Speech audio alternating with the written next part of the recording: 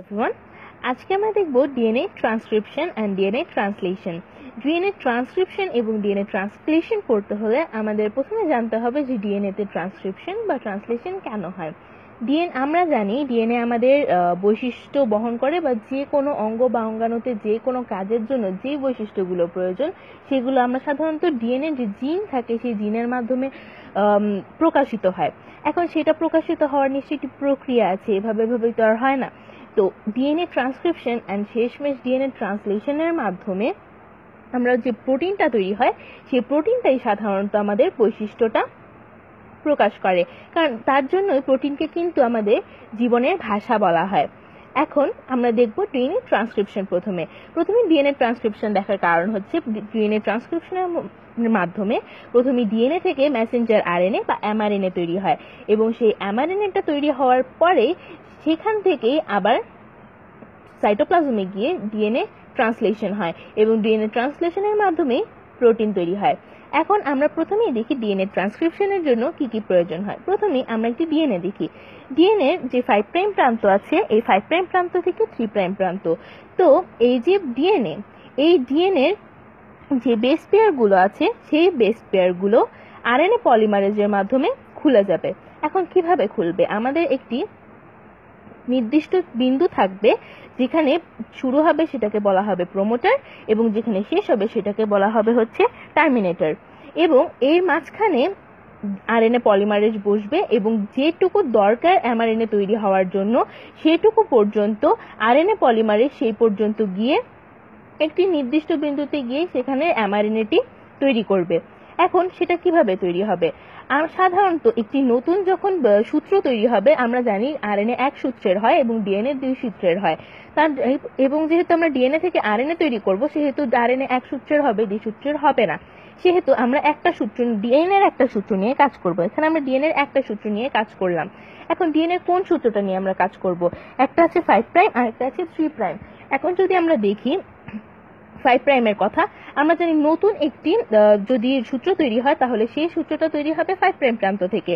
এবং five prime প্রান্ত থেকে যদি শুরু হতে হয়, তাহলে আমাদের অবশ্যই ডিএনএ থ্রি প্রাইম প্রান্ত থেকে শুরু করতে হবে। তাহলে এখানে আরএন যে আরএনএটা তৈরি হবে, সেই আরএনএটা শুরু হবে হচ্ছে ফাইভ প্রাইম থেকে। এবং এখানে গিয়ে শেষ হবে থ্রি প্রাইমে আর এই থ্রি প্রাইমটা শেষ হয়েছে গিয়ে ফাইভ প্রাইমে এখন এখানে কি হবে, এখানে যে এরকম আরএনএ পলিমারেজটা থাকে, সেই আরএনএ পলিমারেজটা এখানে যেতে যেতে প্রায় বিশটি ডিএনএর বেস পেয়ার খুলে দেয়। যখন ডিএনএ বেস পেয়ারগুলো খুলে দেয়, সেখানে যে নাইট্রোজেন বেসগুলো থাকে, সেই নাইট্রোজেনের বেজের পরিবর্তে এখানে যেমন থায়ামিনের সাথে অ্যাড হয় হচ্ছে অ্যাডিনিন অ্যাডিনিনের সাথে ইউরাসিল এখানে ইউরাসিল যুক্ত হবে, কারণ আমরা জানি আরএনএতে কিন্তু থায়ামিনের জায়গায় ইউরাসিল থাকে, সেখানে কিন্তু থায়ামিন থাকে না, সেখানে ইউরাসিল থাকে এবং যেহেতু এখানে ডিএনএ সাথে মেসেন ডিএনএ থেকে মেসেঞ্জার আরএনএ তৈরি হচ্ছে, যেহেতু এটা আরএনএ সেহেতু এখানে ইউরাসিল থাকবে, এখানে থায়ামিন থাকবে না। সেহেতু এখানে অ্যাডিনিনের অ্যাডিনিনের সাথে ইউরাসিল এরপর এখানে সাইটোসিনের সাথে গুয়ানিন যুক্ত হবে। এবং এরকম যুক্ত হতে হতে হতে হতে এই অংশটি, এই যে এক সূত্রের অংশটি, এই এক সূত্রের অংশটি এখান থেকে বেরিয়ে একটি আরএন মেসেঞ্জার আরএনএ তৈরি হবে। এখন এই মেসেঞ্জার আরএনএটি যে তৈরি হলো, এটা শুধু এখানে তৈরি হয়েই থাকবে না, এর মধ্যে আরও কিছু ব্যাপার আছে। একটা ম্যাচিউর মেসেঞ্জার আরএনএ তৈরি হতে হলে কিছু কাজ করতে হয় এবং সেই সমাপ্তিকরণের কাজটি কীভাবে করে হয়। এই যে মেসেঞ্জার আরএনএটা তৈরি হলো, এই মেসেঞ্জার আরএনএটা তৈরি হওয়ার পরেও কিছু অংশ থাকে যেগুলো নন কোডিং অংশ। অর্থাৎ সেখান দিয়ে কোনো জিন বৈশিষ্ট্য প্রকাশ করে না বা সেখান দিয়ে কোনো কোড আমাদের কাজে লাগে না বা প্রোটিন তৈরি হয় না। তো সেই অংশটাকে আমরা বলি হচ্ছে ইন্ট্রন এবং যে অংশটা কাজে লাগে তাকে আমরা বলি এক্সট্রন। এখন এই ইন্ট্রনগুলোকে আমাদের বাদ দিতে হবে। কারণ এই ইন্ট্রনগুলোকে যদি আমরা বাদ না দিই, তাহলে আমাদের একটা পারফেক্ট ম্যাচিওর মেসেঞ্জার আরএনএ তৈরি হবে না। আর মেসেঞ্জার আরএনএ তৈরি না হলে আমাদের প্রোটিনও তৈরি হবে না।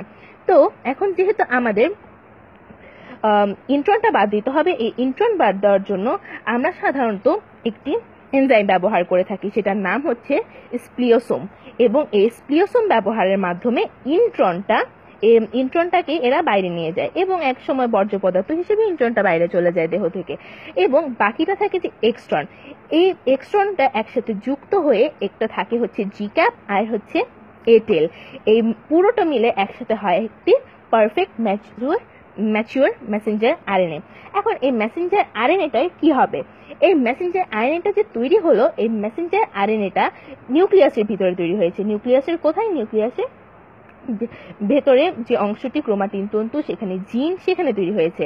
এখন এই মেসেঞ্জার আরএনএটি নিউক্লিয়র রন্ধ্র দিয়ে বেরিয়ে যাবে এবং বেরিয়ে যাওয়ার পরে এই মেসেঞ্জার আরএনএটি সাইটোপ্লাজমে যাবে এবং সাইটোপ্লাজমে যাওয়ার পরে শুরু হবে হচ্ছে ডিএনএ ট্রান্সলেশন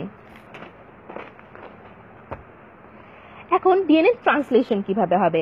ডিএনএ ট্রান্সলেশন হতে হলে আমরা প্রথমেই দেখব সাইটোপ্লাজমে থাকবে আমাদের এমআরএনএ অর্থাৎ মেসেঞ্জার আরএনএ এখন এই মেসেঞ্জার আরএনএতে কি হবে? এই মেসেঞ্জার আরএনএতে রাইবোজোম এসে বসবে। প্রথমেই বসবে হচ্ছে স্মল সাব ইউনিটটি এবং পরে বসবে হচ্ছে বিগ সাব ইউনিটটি এখন এই রাইবোজোমের কাজ কি? আমরা জানি রাইবোজোমের কাজ হচ্ছে রাইবোজোম প্রোটিন তৈরি করতে প্রোটিন সংশ্লেষণ করতে সাহায্য করে। প্রোটিন সংশ্লেষণ আর তৈরি একই কথা। এখন এটা কীভাবে করবে? রাইবোজোম তো এসে বসল। এখন রাইবোজোম যখন এসে বসবে, তখন তাকে আরেকটি কোড দেওয়ার জন্য আরেকটি অংশ লাগবে, যেটা লাগবে হচ্ছে ট্রান্সফার আর আরএনএ ট্রান্সফার আর আরএনএ যখন রাইবোজোম এসে বসে, তখন এখানে রাইবোজোমের তিনটা অংশ থাকে। একটা অংশ তিনটা অংশ থাকে। প্রথমের অংশটি থাকে হচ্ছে ই মাঝখানটা থাকে পি এবং পরেরটা থাকে এ।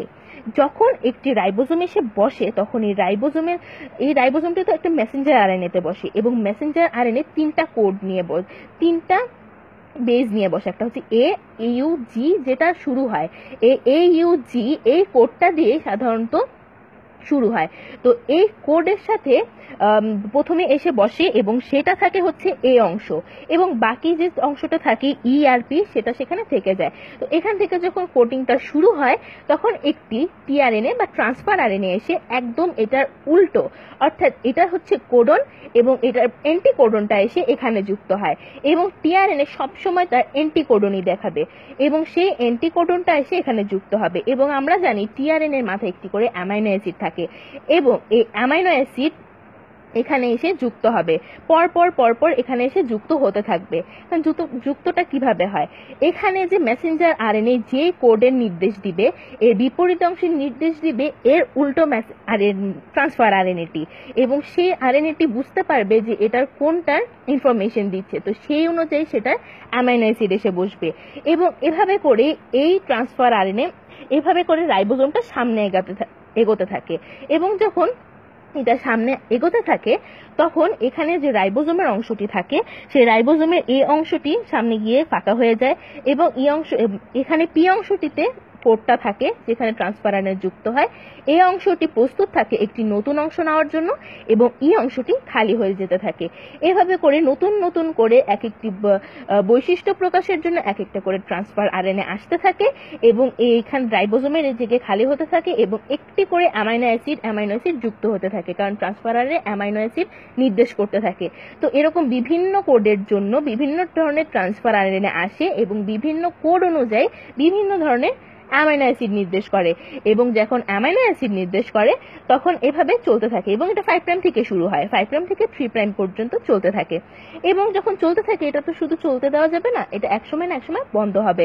এবং তিনটি স্টপ কোডন থাকে এবং তিনটি স্টপ কোডনের মাধ্যমে এটা হচ্ছে A U A U A G U G A এই তিনটির মাধ্যমে সাধারণত স্টপ কোড কোডটা স্টপ হয়।